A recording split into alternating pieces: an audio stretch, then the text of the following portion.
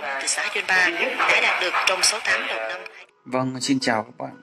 Một cái trích đoạn rất là ngắn chia sẻ về một cái ánh mắt, nụ cười và một nét đẹp rất là Tây Nguyên, rất là đậm chất rừng núi, rất rất, rất là đẹp đúng không các bạn?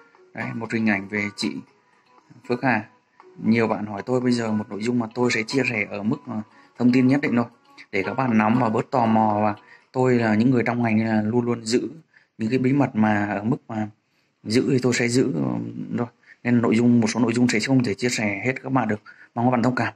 Và một số nội dung là tôi sẽ à, chia sẻ ừ, ở những cái mà mà tôi được phép. Đấy, các bạn thông cảm tôi như thế. Về đôi nét, về chồng và gia đình của Trịnh Phước Hà. Đấy, đặc biệt là chồng. Nhiều bạn rất là tò mò. Qua cái video này tôi muốn nói để chia sẻ một cái thông tin chính trị để các bạn hiểu hơn và nắm hơn bớt tò mò cũng là chúng ta là để đoàn kết hơn thôi. Nó không phải là một cái để mà chúng ta châm chọc nhau. Cho nên ờ, các bạn thấy hay thì mong các bạn là ủng hộ chúng tôi. Còn nếu các bạn không thích, cảm thấy giác mà mà ví dụ các bạn không hài lòng thì các bạn thông cảm với chúng tôi. Bởi vì là cái này là chúng tôi ờ, mang những cái thông tin mà ở mức mà giữ kín một số nội dung. Còn những cái mà chia sẻ được thì tôi sẽ chia sẻ. Đấy. Sau tôi khỏi mất thời gian thì tôi vào nội dung luôn. Đối với chồng và gia đình của chị của sò bơ ca khắp đối với chồng con này chị, chồng của chị là một cán bộ công an trinh sát tại thị xã Azumpa, Gia Lai và dân tộc Kinh. Một cán bộ sĩ quan trẻ trẻ các bạn nhé.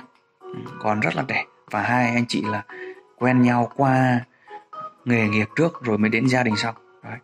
ở gia đình ở Azumpa thì là vẫn theo chế độ mẫu hệ, tức là nghe tâm sự của anh cũng là chị kể thì là thậm chí là đến lúc mà, có những lúc mà mẫu hệ gọi là con gái là quyết định hết đấy.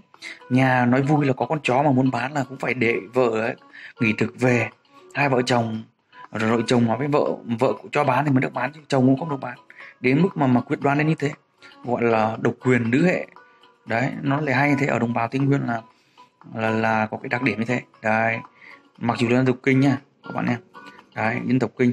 Đấy, vợ thì dân tộc gia rai gia đình rất là hạnh phúc, dù là bận rộn qua những chia sẻ của anh chị thì tôi thấy rất là hạnh phúc, tự hào với nhau luôn á.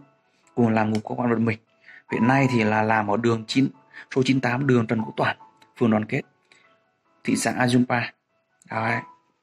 Như vậy là khu vực làm này rất là gần gần gần ủy ban thị xã luôn các bạn. Đấy. Hai vợ chồng làm gần nhau ở đường Trần Quốc Toản các bạn nhé. Các bạn nào đi qua đây thì có thể là nhắn tin mình trước, mình có thể các bạn đưa đến đây là nó, vào phòng tiếp dân có thể nói chuyện nếu anh chị rảnh.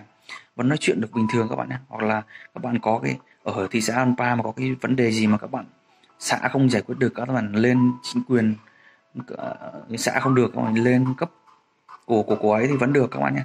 Lên cấp thị xã thì các bạn có thể gặp có phòng tiếp dân đấy tiếp theo là có cái có một người con các bạn nhé.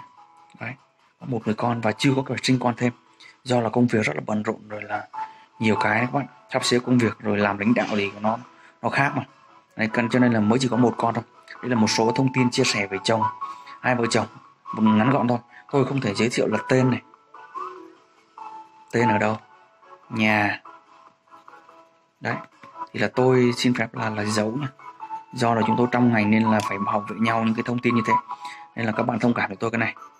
Đấy tiếp theo là tôi sẽ một số cái nội dung về gia đình chẳng hạn thì là cha là có phước các bệnh rồi đúng không? Này chủ nhiệm ủy ban dân tộc. Chủ nhiệm ủy ban dân tộc của chính phủ rồi. Nga mấy bộ trưởng này các bạn. Bộ trưởng chủ, chủ nhiệm ủy ban dân tộc đấy. Chú ruột thì là cờ so nham đấy là trung tướng cái này cái nó biết rồi. Cũng là giữ là chủ là phó chủ nhiệm tổng cục hậu cần đấy. Một số nội dung muốn chia sẻ các bạn nhanh thế. Qua cái nội dung này thì mong là các bạn nếu mà các bạn à, thấy cái thông hữu ích thì mong các bạn ủng hộ. Đấy tôi nói rồi nếu mà không hài lòng thì rất mong là nhận được thông cảm của các bạn. Một nội dung muốn chia sẻ để chúng ta là là là nắm được một nội dung thông tin chính trị có thể là cần thiết với các bạn, để các bạn ngày càng yêu quý hơn những con người mà có tài, có đức, những con người mà cống hiến rất nhiều cho xã hội. Cuối cùng thì chúc chúng ta có sức khỏe thật tốt để luôn luôn hoàn thành mọi giao, đoàn kết. Chào các bạn.